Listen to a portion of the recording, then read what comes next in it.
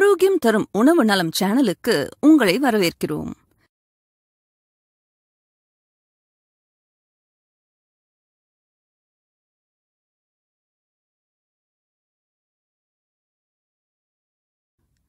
நாம் இன்று எவ்வாறு காய்கறிகளை வாங்குவது என்று பார்க்கலாம்.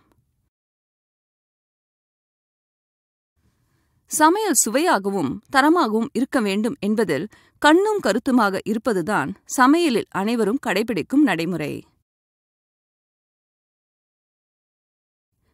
தரமான பொருட்கள் கொண்டு சமைத்தால்தானே தரமான உணவு நமக்கு கிடைக்கும்? அதிலும் குறிப்பாக காய்கறி விஷயத்தில் கவனம் செலுத்த வேண்டும். உண்மையில் நம்மில் பலருக்கு காய்கறி எப்படி பார்த்து வாங்குவது என்பது தெரிந்திருக்கவில்லை. யாரோ சொல்ல கேட்டும் ஏதோ ஒரு புத்தகத்தில் படித்திருந்தும் காய்கறி கடையில் நிற்கும்போது மட்டும் மறந்தே போய்விடுகிறது. அதனால் சொத்தை கத்திரிக்காய் முதற்கொண்டு பல காய்கறிகளில் நாம் ஏமாந்து போகிறோம். இனிமேலும் அந்த நிலை உங்களுக்கு வராதிருக்க இதோ சில யோசனைகள். வாழைத்தண்டு என்றதும் அதன் பளபளப்பை பார்த்து வாங்கும் பழக்கம் பல பேருக்கு உண்டு. அவ்வாறு வாங்குவது சரியான முறையல்ல. வாழைத்தண்டின் மேல் பகுதி நார் அதிகம் இல்லாமலும் உள்ளிருக்கும் தண்டு பகுதி சிறுத்தும் இருப்பதாக பார்த்து வாங்க வேண்டும். வெள்ளை வெங்காயம் வாங்கும்போது நசுக்கினால் சாறு வருகிறதா என்று பார்ப்பது அவசியம். அப்படி சாறு வந்தால் அந்த வெள்ளை வெங்காயம் நல்ல காய்தான். முருங்கைக்காய் பச்சை நிறத்தில் இருந்தால் மட்டுமே போதும் என்கிற சிந்தனை பலருக்கு உண்டு. முருங்கைக்காயை கட்டை விரல் மற்றும் ஆட்காட்டி விரல்களை பயன்படுத்தி சிறிது முறுக்கினால் எளிதாக வளைந்தால் அது நல்ல முருங்கைக்காய். சர்க்கரை வள்ளி கிழங்கு உறுதியானதாக இருந்தால் இனிக்கும். அடிபட்டு கருப்பாக இருந்தால் கசக்கும்.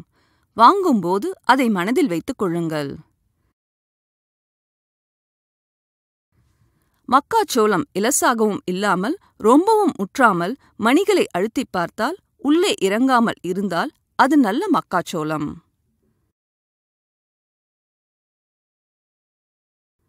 தக்காளி வாங்கும்போது நல்ல சிவப்பில் இருக்கிறதா என்று பார்த்து வாங்குங்கள். கோவைக்காயை பொறுத்தவரையில் முழுவதும் பச்சையாக இருப்பதுதான் நல்லது. அதில் சிவப்பு லேசாக இருந்தாலும் வாங்க வேண்டாம்.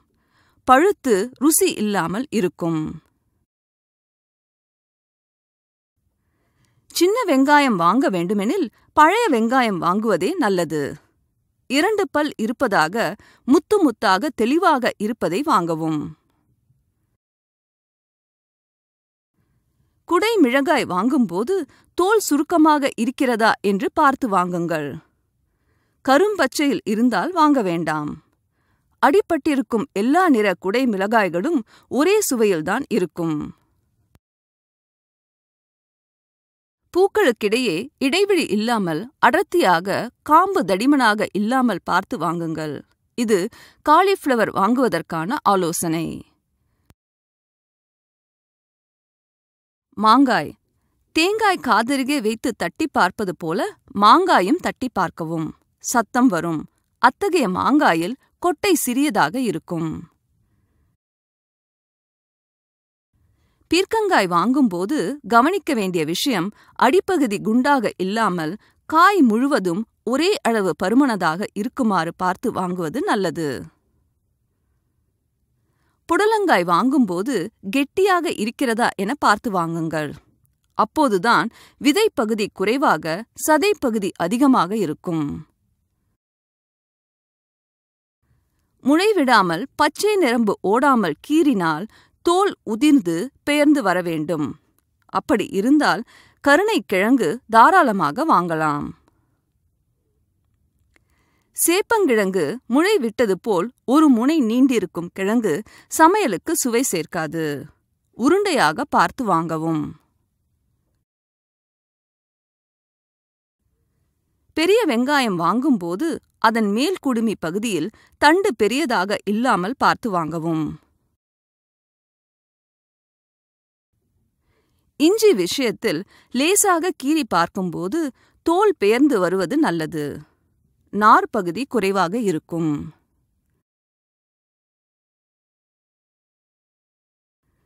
கத்தரிக்காய் தோல் மெல்லியதாக இருப்பது போல் பார்த்து வாங்கவும்.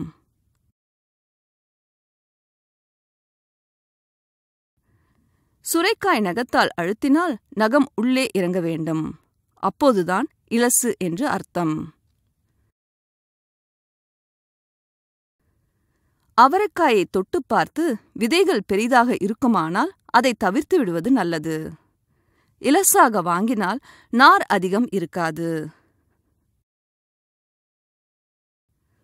வாழைப்பூ வாங்கும்போது அதன் மேல் இதழை விரித்து பூக்கள் கருப்பாகாமல் வெளிர் நிறத்தில் இருக்கிறதா என பார்த்து வாங்கவும். அப்படி இருந்தால் ஃப்ரெஷ் காய் என்று அர்த்தம். பச்சை மிளகாய் நீளமாக இருந்தால் காரம் குறைவாக இருக்கும். சற்றே குண்டானதுதான். காரமாகவும் வாசனையாகவும் பிரமாதமாக இருக்கும்.